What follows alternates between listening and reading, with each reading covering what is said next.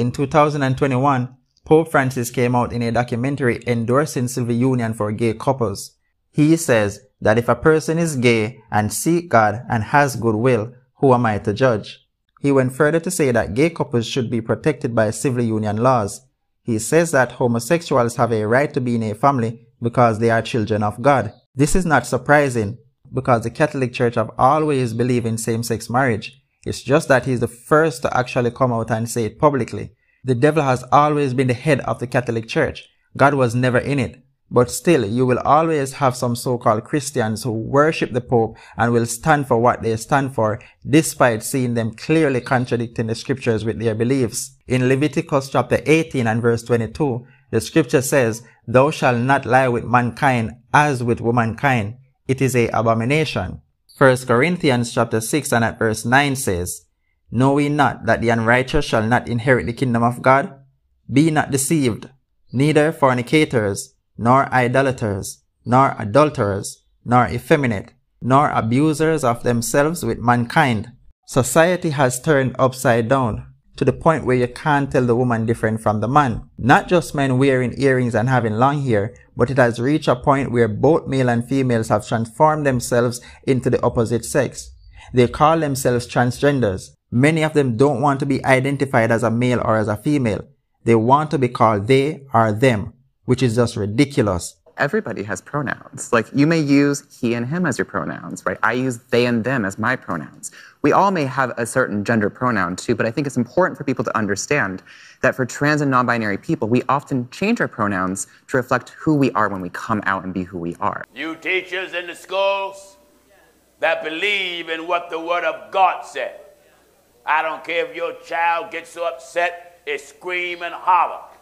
Don't you call that child that you know is a boy or that you know is a girl a them or a they. Right, right. And don't you let no school district force you. The devil has brainwashed them so much and has filled them with the spirit of deceit.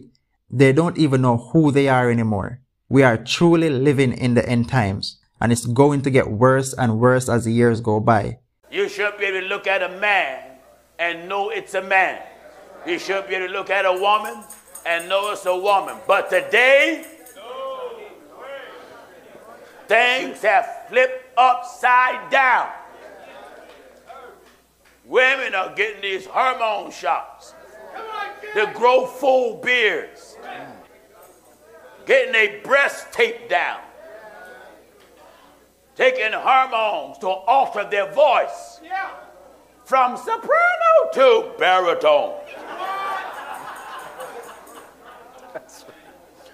In the schools, biological men who claims to be women are fighting for rights to use the female locker room. This student, who the devil has deceived into thinking that he is a female, wants to use the female locker room so bad to the point that he is suing the school.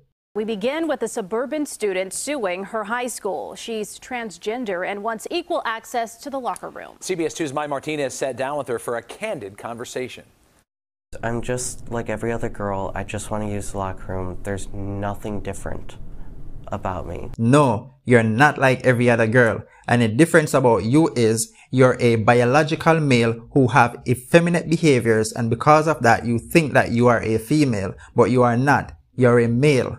So that's the difference about you and you're not like every other girl. You're a male. Just take your clothes off and stand before the mirror. That should give you a wake up call. Many of the female students are not happy with this and have taken actions to voice their opinions. Hello, ladies and gentlemen, and only ladies and gentlemen it is and shall always be.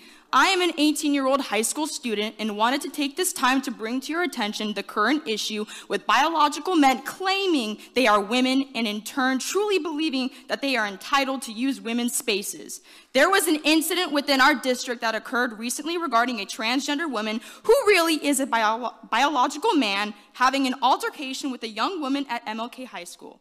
It was infuriating when I had seen the video on social media, but what was detrimental to this is the fact that this man is and has been using the women's restroom and locker room. Firstly, the question we must address is why are we affirming the mental confusion of this boy and putting the safety of women in jeopardy by allowing mentally confused men to use the women's spaces? Of course, any male who claims he is a woman will accept it. But what about the women? What about the true girls like myself who are female down to our DNA? Why don't we ever get a say in whether or not we are comfortable with this? The truth is, we aren't. The majority of us aren't, and yet nothing has been done to protect the safety of these women. I will conclude with this. It all starts with you. You are in charge of the safety of us women and our and the parent and the kids of our parents. So please do something about it. Thank you. It's good to see people stand up for what is right, especially young people. She said it best. They are mentally confused. It is very unfair for females to share the same locker room with biological men. It is not right. And I'm happy she stood up and spoke out against it. We need more people like her to stand up for the truth and what is right. This is the man who the teenage girl was talking about. He said that he has fully transitioned into a woman and that the situation has had a severe impact on him and the transgender community. It appears that I inadvertently caused quite a scandal on the morning of Thursday, December 29, 2022. Kristen Wood speaking to the Santee City Council, her story about what happened that morning. As we reported, the issue at hand stemming from a 17 year old girl saying she saw the backside of a transgender woman in the shower. That person was Wood. She says seeing the love and support from those at the meeting is giving her energy. It's really sad to see so many people cheering him on as he ends his speech. Honey, I don't run from lies and threats and bullies. That's just not in my DNA. We are truly living in a time where people call good evil and evil good. The scripture tells us that God made the woman for the man. We don't read anywhere else where God created any other gender.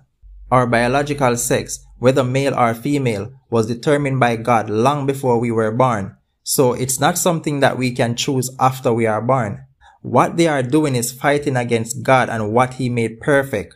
God made you a man, so you can't come afterwards and say, no, I think I'm a woman. That's just being blind, dumb, and outright wicked and rebellious. God is perfect. He makes no mistakes. Human beings are the problem. They are always coming up with things to change what God created. The devil is truly winning the minds of many. If the devil can have a man thinking that he's a woman, or a woman thinking that she's a man, you know we are in deep trouble. That's why the scripture says in Revelation chapter 12 and verse 12, Woe unto the inhabitants of the earth and of the sea, for the devil is come down unto you, having great wrath, because he knoweth that he hath but a short time. We who are striving to please God must hold fast to prayer and fasting, which is able to keep us firm in the Lord. We must strive to have a good relationship with God and make no room for the devil because he is waiting for that opportunity to strike. Put on the whole armor of God that you may be able to stand against the wiles of the devil. I thank you so much for watching this video and I do pray that we all continue in striving to please God. Please remember to like, subscribe and hit the notification bell so you can be notified when new videos are uploaded. Thanks for watching.